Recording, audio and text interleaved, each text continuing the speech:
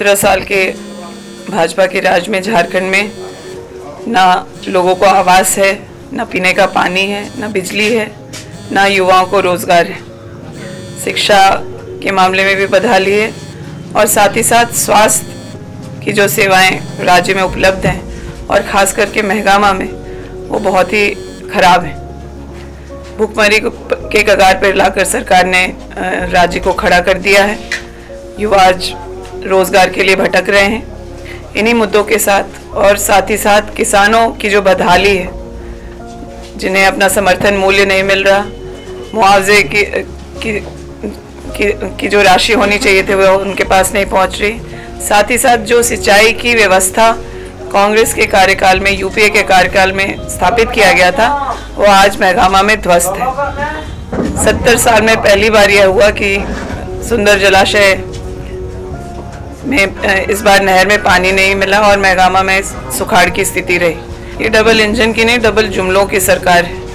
मोदी जी अलग वादे करते हैं और रघुवर दास जी उससे भी बढ़ चढ़ कर वादे यहाँ लोगों को करते हैं। ज़मीन पर आप आप लोग, मीडिया के माध्यम से आप लोगों ने जो भी सर्वे किया, जो अभी आप शेयर कर रहे थे हमसे, आपने देखा होगा कि लोग पेंशन के लिए, आवास के लिए, साफ़ पीने के पानी के लिए जद्दोजहद में लगे हैं। सड़कें नहीं हैं और स्कूलें झारखंड में बंद की गई।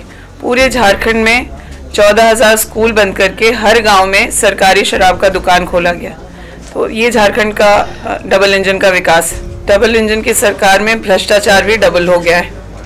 आवास अगर किसी को लेने जाना है तो अगर उसके पास बीस हज़ार रुपये नहीं है तो वह आवास कभी ले नहीं सकता है। साथ ही साथ अगर पेंशन की बात देखें, पिछले सालों में चार बार, पाँच बार छः बार शिविर लगा करके बूढ़े बुज़ुर्गों से फॉर्म भराया गया और उन्हें पेंशन नहीं मिल रहा। छात्रवृत्ति हो या फिर शिक्षा के सही जो मौके हैं, वो युवाओं को नहीं मिल रहा। संबित पात्रा जी ने जब प्रधानमंत्री भी आए तो उन्होंने झारखंड में के विकास का को एक मॉडल बताया। लेकिन झारखंड के विकास का मॉडल ये है कि सरकारी स्कूलों को बंद करके शराब की दुकानें खोली जा रही हैं। आज राज्य भुखमरी के कगार पर है। यहाँ के जितने भी अनुबंधित कर्मी हैं, उन लोगों को लाठी डंडे से नवाजा जा रहा है। यहाँ इस राज्य में के शिक्षक खुशहाल नहीं है। जहाँ जिस राज्य के शिक्षक खुशहाल नहीं होंगे, पारा शिक्षक खुशहाल नहीं होंगे, जो आंगनबाड़ी की सेविका सयाएँ खुश नहीं होंगी तो उस राज्य में विकास का कौन सा मॉडल स्थापित करना चाहते हैं? इनके हिसाब से विकास जो है बड़ी बड़ी बिल्डिंगें इमारतें हैं, जिसमें ये कमीशन खा सकें। लेकिन इन्हें यह सब, यह ज़मीनी बात नहीं समझ में आती कि झारखंड का विकास झारखंड के लोगों के विकास होने पर है। जब तक झारखंड की जनता का विकास नहीं होगा, जब तक यहाँ के युवा सशक्त नहीं होंगे, महिलाएँ सशक्त नहीं होंगी, किसान सशक्त नहीं होंगे, मजदूरों को ताकत नहीं मिलेगी, तब तक झारखंड का विकास संभव नहीं। देखिए, मेरी प्राथमिकता बहुत साफ़ है। मैगामा के जनता साफ़ पीने के पानी और सिंचाई के जल से वंचित है।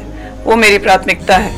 मैगामा की जनता ब्लॉक और जिला के चक्कर काटते हुए भ्रष्टाचार से परेशान है। उस पर लगाम लगाना मेरी प्राथमिकता है। मैगामा के युवा बेरोजगार बेरोजगार हैं। और उन्हें शिक्षा के सही मौके नहीं मिल रहे। हैं यहाँ उन्हें इसी विधानसभा में पढ़ने लिखने के सही मौके मिले। ऐसे इंस्टीट्यूशंस बने, ये मेरी प्राथमिकता है।